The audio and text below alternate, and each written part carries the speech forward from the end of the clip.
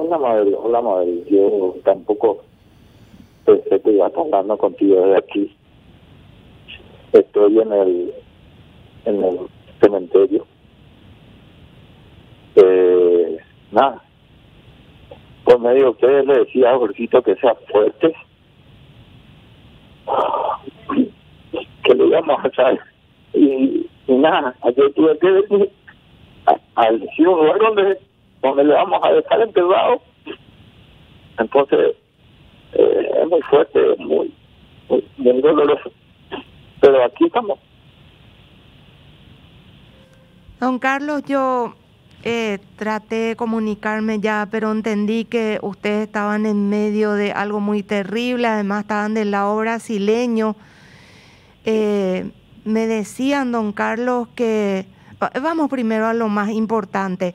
Jorgito, en estos momentos, ¿está todavía en el salón velatorio o ya lo están llevando al cementerio, don Carlos? Está, está en el salón velatorio, está en el salón velatorio y estimo que diez y media en principio el horario que, vamos, fijamos para, para llegarle hasta su última morada. Y, y, eh, vi que quieren tratar de hacer una caravana con los que quieran estar al lado de ustedes para acompañarle a lo que va a ser la última casa de él. Eh, en, en realidad, Mabel, él, él, está acá, o sea que el salón está en el cementerio. Mm, estaban viendo, todavía no me confirmó la familia si, si, si se va a hacer como una especie de caravana por, por algún lugar que ellos reciban, pero eh, si no fuera así, aquí nomás estamos en el, cementerio, en el salón de la del cementerio. Y bueno, eh, ¿a qué hora sería el, el entierro de Jorgito, don Carlos, para los amigos, los familiares, los que quieran estar con él? 10.30, madre, 10.30 estamos fijando, decimos que entre 10.30 a 11 horas estaríamos eh, haciendo el, el entierro.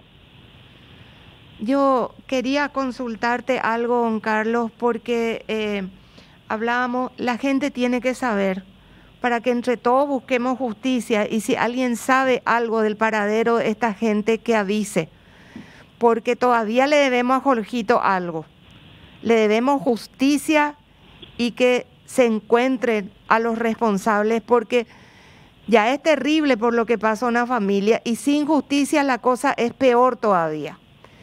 Entonces, te pregunto algo, don Carlos. Eh, el miércoles fue el último día que ustedes tuvieron novedades. Desde el miércoles hasta el sábado, esta gente no les volvió a contactar para decirles cómo entregar, porque usted nos pedía cada rato que, que les dijéramos que estaban esperando ustedes cómo, dónde, que se comuniquen para entregar ya. Desde el miércoles hasta el sábado, que el día en que toman esta terrible decisión, no hubo ni una comunicación. ¿Es así, don Carlos? Es así, madre, es así.